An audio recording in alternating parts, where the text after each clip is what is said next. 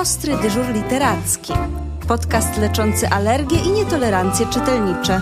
Prowadzi Agnieszka Karpszymańska.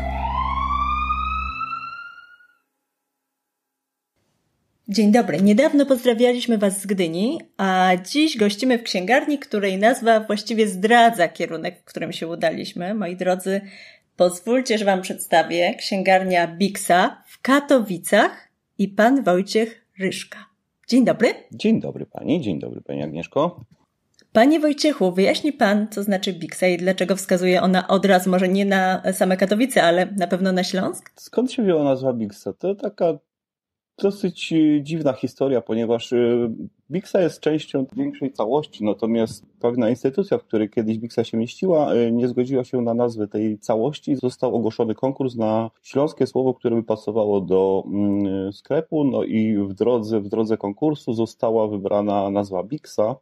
Bixa to po śląsku jest puszka, mhm. Co w sumie teraz w nowym miejscu, w nowej lokalizacji naszej Mixy jest to bardzo adekwatne określenie, ponieważ e, nasza księgarnia jest dosyć niewielka, bo to jest zaledwie 50 metrów kwadratowych, a mieścimy tutaj naprawdę sporo, sporo dobra, więc tak, to jest takie bardzo ładne słowo, które określa po prostu e, puszkę, pojemnik zamknięty i, i wiąże się od razu, od razu z, ze Śląskiem, aczkolwiek Słowo Bixa też jest e, w innych rejonach e, Polski e, znane, ale pod zupełnie innymi pojęciami. Natomiast na Śląsku jest to od razu kojarzone z puszką. Mhm. Stąd też nasz logotyp, który wygląda jak taka puszka, więc wszystko jest powiązane.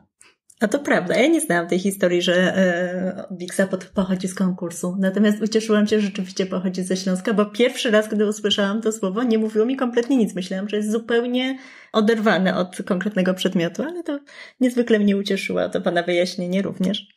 Lubimy, lubimy tą nazwę, dlatego, dlatego w momencie, kiedy była zmiana lokalizacji naszej księgarni, to był też y, od y, właściciela tego miejsca było pytanie, czy nazwę zostawiamy, czy też y, nazwy nie zostawiamy. Natomiast to podjąłem taką decyzję, że nazwa jest naprawdę bardzo dobra i skoro już mamy przygotowaną pełną identyfikację, czyli logotypy, czyli neony, które sobie wiszą ładnie w oknach, mhm. to zdecydowanie ta nazwa będzie pasująca i tak pod tą nazwą jesteśmy całkiem rozpoznawalni, przynajmniej u naszych lokalców. Zostańcie Bixom już na zawsze. Mi się ogromnie ta nazwa podoba. E, ja już kiedyś wspominałam, że wizyty w księgarniach niezależnych bywają niebezpieczne. Niebezpieczne przede wszystkim dlatego, że ja wychodzę zawsze obładowana i są niebezpieczne dla mojego kręgosłupa. Są niebezpieczne też dlatego, że ja już kilkakrotnie nieomal nie spóźniłam się na spotkanie ale muszę panu się przyznać, że dzisiaj o mały włos nie, nie spóźniłabym się na naszą rozmowę i nie dlatego, że byłam w Biksie, ale dlatego, że trafiłam na wasze e, media społecznościowe i stronę i okazuje się, że tam również można spędzić mnóstwo czasu w bardzo przyjemny sposób. Coś w tym jest, tak. Tu mm, mam rekordzistkę, która kiedyś w momencie, gdy weszła, przystąpiła nasze progi, to była to godzina około mm, południowa, nie wiem, 12, 12, 15, przy czym wyszła tak rzeczywiście obładowana o godzinie 19 w momencie, kiedy zamykaliśmy już nasze podwoje i tak, z premedytacją. Nie używamy alfabetu na półkach, e, nie, nie lubimy się z alfabetem jakoś, nie wiem, nie wiem dlaczego. Znaczy może wiem dlaczego, dlatego że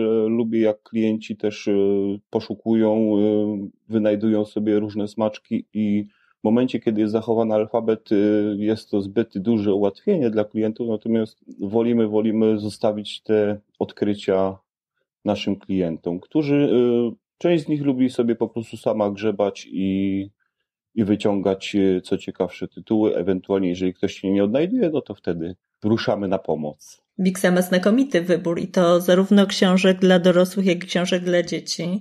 Wygląda na to, że udaje Wam się trzymać rękę na pulsie, a to nie jest łatwe. Przynajmniej w przypadku książek dla dzieci to jest rynek naprawdę ogromny. Jaka jest Wasza recepta na to, by y, pokazywać te rzeczy, które są najbardziej wartościowe, ale też y, wiedzieć cały czas, co się dzieje, tak by Wam nic nie umknęło?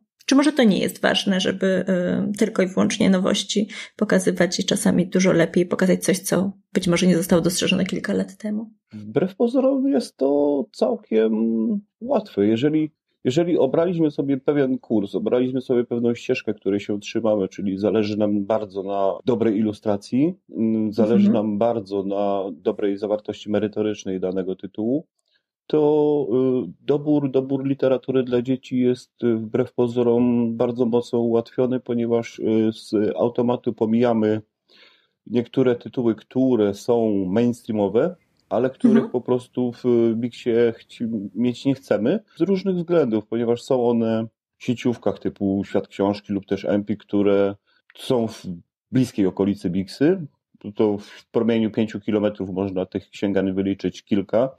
E, natomiast no, mam tu na myśli chociażby Kicie Kocie Głowińskiej, czy też nie wiem, Żółwia Franklina, czy też e, co tam jest jeszcze z takiego, no świnka Pepa, nieszczęsna świnka Pepa, które po prostu, no, są, są dla dzieciaków super, dzieciaki je uwielbiają, natomiast y, niekoniecznie, niekoniecznie musimy je mieć, tym bardziej, że miejsce w, sama Pani doskonale wie, że miejsce w księgarniach kameralnych jest w większości niezbyt dużo, mhm. więc y, skoro możemy się, skoro możemy się skupić tylko i wyłącznie na tych książkach, które chcemy, no to to po prostu robimy. Ja tak sobie pomyślałam, gdy pan mówił o Kici Koci, bo rzeczywiście jakby ta seria budzi kontrowersje, bo ona z jednej strony ma dużo dobrego, z drugiej strony no rzeczywiście to nie do końca jest wybór księgarni niezależnych.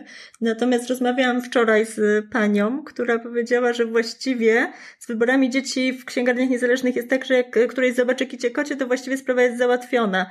I być może to, że Kici Koci w Biksie nie ma, być może może wpływać na to, że dzieciaki czy rodzice zaczynają szukać dalej. Ale już jest y, bardzo dużo innych znakomitych, znakomitych y, ilustratorów. Tak, ale wie pan o czym mówię, że jeżeli zatrzymujemy wzrok na czymś, co znamy, przynajmniej z dziećmi tak jest, to bardzo często one już nie mają takiej potrzeby, żeby jeszcze się gdzieś tam zainteresować kolejnymi, kolejnymi i kolejnymi, które no jeszcze są nieznane. Tak, no dziecko bardzo często sięga rączką najpierw po to, co już zna. E, ale z drugiej strony też rodzice mają swoje jakieś widzimisię i mimo, że dzieci na przykład lubią bardzo kicie kocie, to rodzice za kicią kocią niekoniecznie przepadają, tak. natomiast e, robią to dla dzieciaków, no wiadomo, miłość rodzicielska to jest e, potęga. Natomiast są też rodzice, którzy mają swoich ulubionych ilustratorów i mhm. chcą te swoje pociechy karmić tą ilustracją naprawdę dobrą. Przy czym, jeżeli jeszcze temu towarzyszy kapitalna treść, no to, no to mamy gotowy produkt na naprawdę dobrą książkę dla dzieci. No z takich ilustratorów, no to jednym z naszych ulubieńców no to jest e, Mark Butavant, czyli praktycznie cała seria o Edziu, albo już dla tych mhm. ciut starszych e, komiksy z Ariolem. E, tak. lub też Zapchlony Kundel, który jest też znakomitą książką już zdecydowanie większą ilością tekstu mhm. niż w przypadku Edzia. Tak, i to jest charakterystyczne, że książki, o których Pan mówi w tym momencie, mają ilustrację yy, łatwą, to znaczy w tym sensie łatwą, że przyjemną. To jest oczywiście ambitna ilustracja, natomiast yy, no tutaj nie straszymy rodzica, który nie jest w jakiś sposób yy, znawcą sztuki i nie jest w stanie być przewodnikiem po bardzo mocno awangardowej ilustracji, bo właściwie Zapchlony Kundel ma no, przepiękną ilustrację, taką bardzo, bardzo, bardzo E, łatwo odbieralną też dla e, zupełnie niezaprawionego e, odbiorcy i literatury i, i ilustracji dziecięcej. To się zgadza, ale jest ona przy okazji przygotowana perfekcyjnie, idealnie i ma coś takiego w sobie, że pomimo, że na przykład w przypadku Edzia, mhm. pomimo, że na przykład już dzieci z Edzia powolutku, jak pojawiają się kolejne tomy, mogą wyrastać, no to zostaje sentyment do Edzia i dalej ten Edzio jest,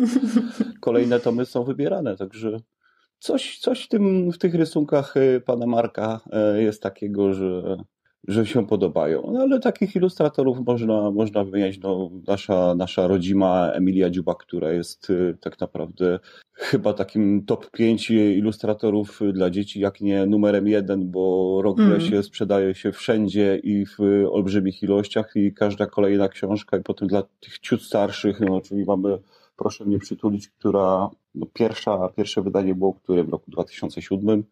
Tak. E, mamy 2020, 13 lat. E, książka doczekała się już czterech albo pięciu wydań, więc. Mm, to prawda. Ja miałam nadzieję, że e, pan Emilie Dziubak tutaj przywoła w tym momencie, bo rzeczywiście to jest kolejny przykład, tym razem naszej rodzimej ilustratorki, która ilustruje w taki sposób, w dobrym znaczeniu tego słowa, bezpieczny. To znaczy, jeżeli ktoś chce kupić dziecku książkę i wie, że chce go rozwijać, to. Yy, bez, y, bez, bez żadnego ryzyka może kupować wszystkie książki y, Emilii Dziubak, no może poza horrorem, który jest zupełnie specyficzną książką i Oj, najpierw trafić do rodziców. książką, bardzo specyficzną, ale no, jeżeli, jeżeli tak personifikujemy warzywa i potem w nich dłubiemy łyżeczką, no to e, to tak, jest to, jest to horror, dosłownie i w przenośni, więc y, aczkolwiek teksty są tam znakomite i ilustracje są przepiękne, ja tą książkę uwielbiam, zresztą mam ją w domu i Mhm. No ale, ale mam swoje lata, więc e, nie wiem, czy dziecku, dziecku horror bym podsunął.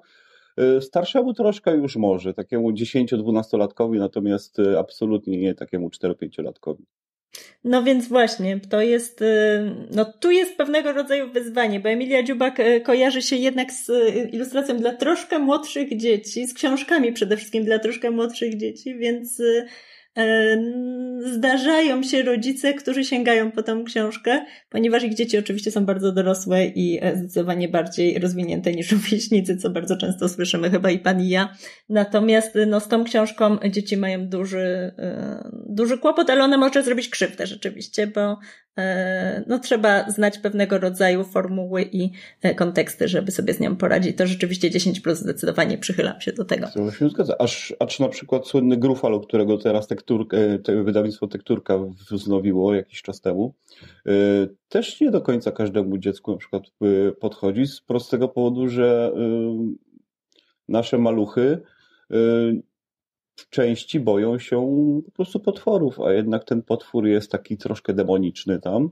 Jednak Grufalo, mhm. Grufalo nie wygląda tak całkiem przyjaźnie, mimo że, że tak naprawdę przyjazny jest, ale, ale jest, mam grupę, mam grupę czytelników, którzy e, Grufalo omijają, ponieważ e, dziecko się jednak troszkę boi i wtedy, wtedy sięgają po e, pozycje, gdzie tych potworów rzeczywiście nie ma i ta treść jest delikatniejsza. Acz wybory, wybory klientów są bardzo różne, bo ja bardzo uwielbiam na przykład książkę Droga na górę.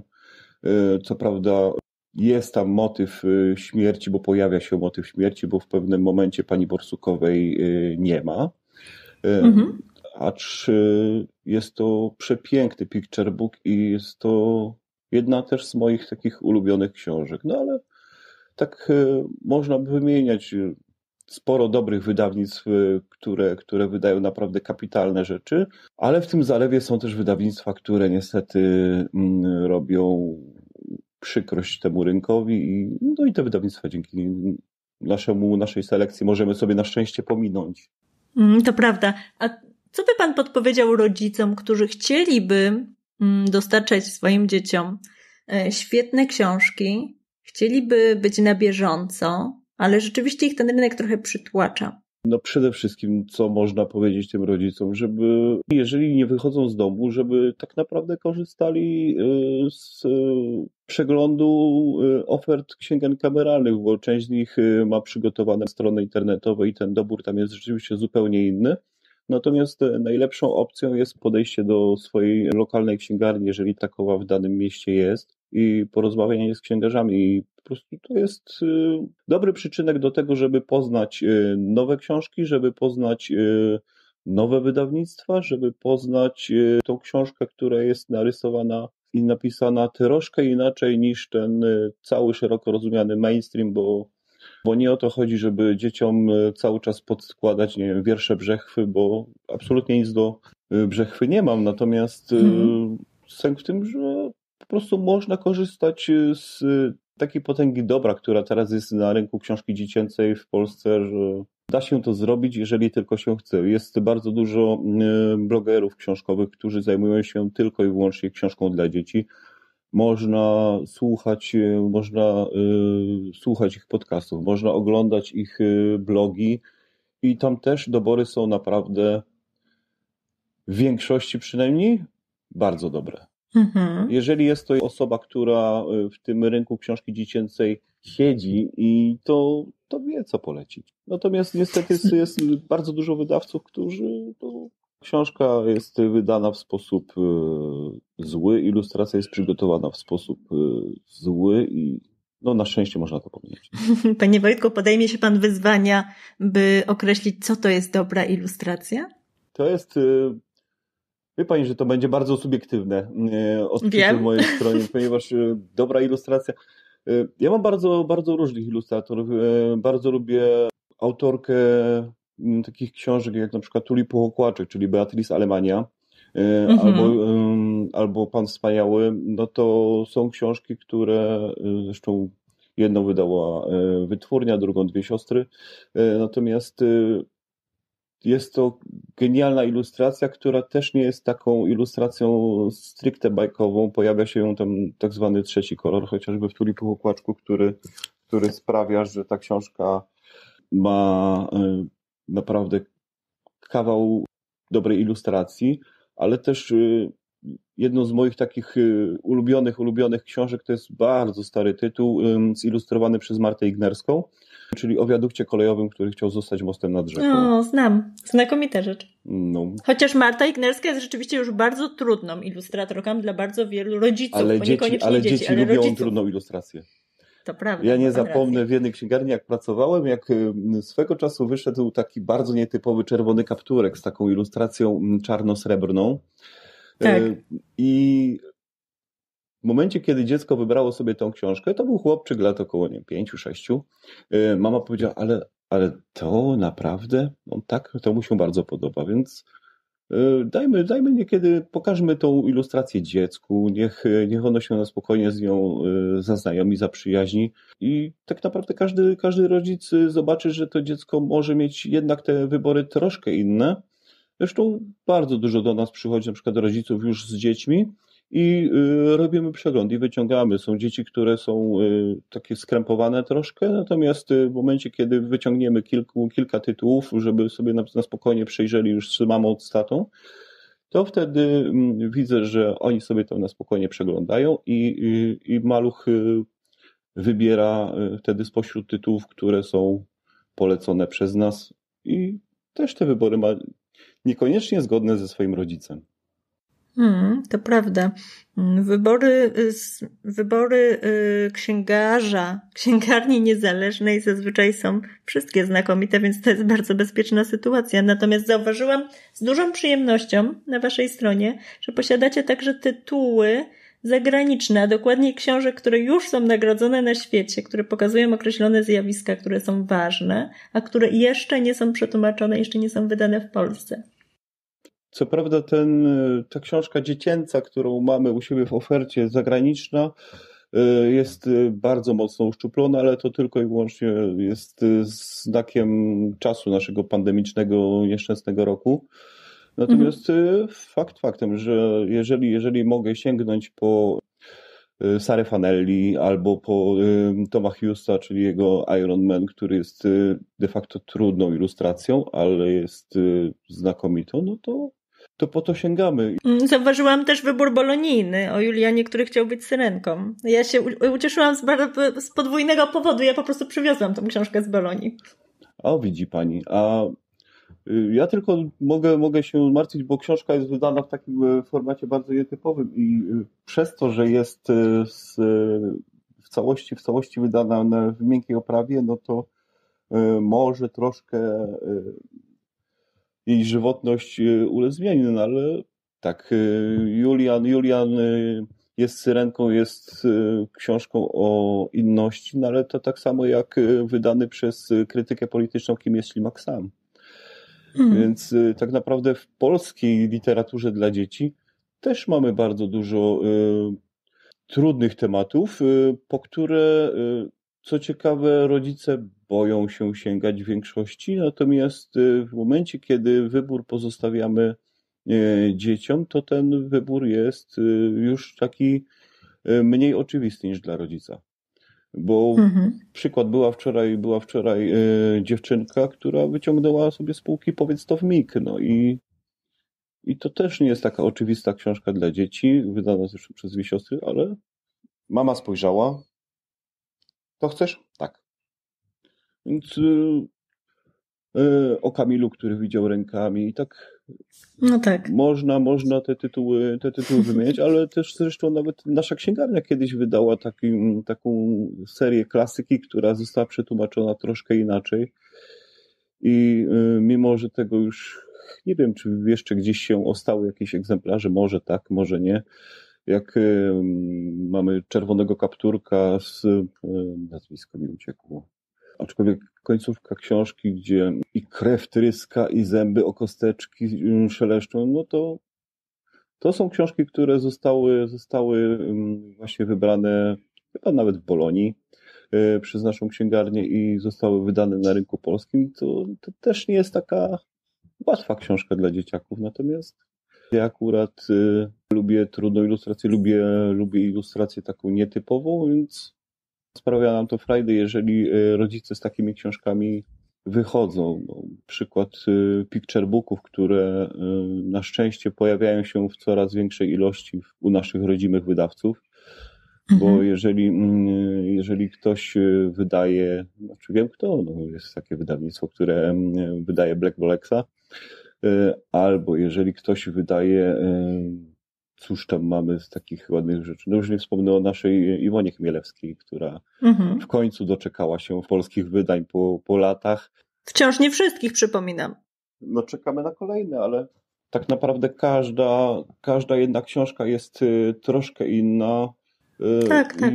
no ale też mam taką y, jedną z moich ulubionych ilustratorek jest też Marianna Sztyma, która mhm, y, oczywiście. robi książki, robi znakomite książki, bo chociażby mój ulubiony Oto Kot, który, którego przygotowała, albo przy okazji już ten pełnoletni czytelnik y, panią Mariannę może kojarzyć chociażby z okładek tomików poetyckich Biura Literackiego. Przeglądając ofertę Bixy ma się już uczucie relaksu. E, wchodząc do księgarni takiej jak Bixa, zaczynamy czuć się lepiej. Mam do Pana pytanie, czy otaczając się świetnymi książkami, pięknymi, czasami designerskimi przedmiotami, możemy czuć się trochę lepiej, troszkę szczęśliwsi? Wszystko zależy od y, okoliczności przyrody. Ha. Mhm. Mam całkiem duże grono klientów, które przychodzi do nas po to, żeby sprawić sobie e, frajdę, którzy przychodzą... Małą przyjemność, prawda? Tak, przychodzą sobie tak e, po to, żeby mm, wiedzą, co chcą kupić, ale przy okazji e, zdają się też na nasze dobory i mam tu na myśli i tych młodych czytelników, i tych troszkę już bardziej dojrzałych czytelników, którzy przychodzą po jeden tytuł, natomiast dodatkowo jeszcze wyciągają dwa, trzy, cztery kolejne tytuły, ponieważ, że warto to, warto to, o tego nie znałem, tego nie znałem, dobra, to wiem, to wiem, to wiem, o tego nie znałem i lubimy tak klientów y, faszerować y, dobrą książką, sprawia nam to dużą przyjemność i a jeszcze większą przyjemność sprawia nam, kiedy ci klienci wracają i mówią, że to było super, to było super, czy macie jeszcze więcej na przykład danego autora, tak, to wywołuje uśmiech na twarzy i to wywołuje uśmiech na twarzy nie tylko naszej, ale też na twarzach naszych klientów, bo y, lubimy z nimi rozmawiać. I to mhm. przynajmniej, przynajmniej ja lubię, bo z moimi księgarzami to bywa, bywa różnie, są, ale każdy, każdy ma tam swoje, swoje jakieś zamiłowanie, każdy ma tam swoje wizje i Mam osoby bardzo różne. Zresztą otworzyliśmy teraz w środku pandemii y, drugą Biksę w Gliwicach i tam też mam naprawdę fantastyczne, fantastyczne dziewczyny, które tak naprawdę każda, każda y, jest y, dobra w troszkę innym typie literatury i każda zachwala troszkę inne rzeczy, ale no, jesteśmy ludźmi i na szczęście każdy z nas jest troszkę inny. Mm. Pan mówił o tym uśmiechu. Ja mam wrażenie, że to taki trochę szelmowski uśmiech, z tego względu, że jestem przekonana, że księgarnie niezależne właściwie kształtują gusta czytelników, czyli troszkę zmieniacie tych czytelników, którzy do Was przychodzą i pewno z każdą wizytą e, oni mają troszkę inne preferencje. Zgodzi się Pan ze mną? Coś w tym jest, ale też y, o dziwo bywa tak, że a propos tego szalmowskiego uśmiechu, że mhm. zdarza nam się, że skrytykujemy też wybór książki, którą klient wyciągnie, wyciągnie na przykład sobie sam z półki ponieważ jest to, jeżeli jest to nasz e, stały klient i sięga po książkę, która, którą wiemy, że mu po prostu nie podejdzie, to mówimy, że to nie jest po prostu książka dla niego i tak, to jest, to jest właśnie ten sposób kształtowania tych gustów czytelniczych, ponieważ jeżeli ktoś czyta dużo, to niekoniecznie musi czytać wszystko, bo no, nie jesteśmy w stanie przeczytać wszystkiego i tak i sama, sama pani o tym doskonale wie, pani Agnieszko, że, że choćbyśmy chcieli, choćby te um, kubki wstydu tak zwane rosły i rosły przy łóżkach, to um, nie wiem, czy kiedykolwiek przeczytam ja chociażby wszystkie książki, które mam w domu, a troszkę, troszkę ich mam. Może, mm. może z jedna albo dwie się znajdą. No ale to, co Pan mówi o krytykowaniu książek, to właściwie świadczy o tym, że E, te rekomendacje są autentyczne, więc mnie Pan absolutnie tym nie zdziwił. E, mówimy dzisiaj o zachwytach, mówimy o indywidualnych rekomendacjach, e, mówimy o kształtowaniu gustów, a ja mam do Pana na zakończenie takie pytanie. Co Pana zachwyciło w ostatnim czasie? Miło by było, jakby to rzeczywiście dotyczyło literatury dla dzieci. E, w literaturze mhm. dla dzieci. Ale nie musi być absolutna nowość. Może być taka, wie pan, czasami jest tak, że pokazujemy rodzicom książki sprzed 10 lat mówię, ojej, jeszcze jej nie widziałem, więc myślę, że śmiało można popłynąć gdzieś w czasie. Ostatnio takie zachwyty, zachwyty z y, rzeczy, które ostatnimi czasy się y, ukazały, to tak to na, na pewno jest dziura. Mhm. Dziura, która po prostu położyła mnie na łopatki i, i jest rewelacyjna. E, bardzo się ucieszyłem też mm, kontynuacją Proszę mnie przytulić, czyli tak, gdzie pojawiła się w końcu Mama Niedźwiedzica. Mhm.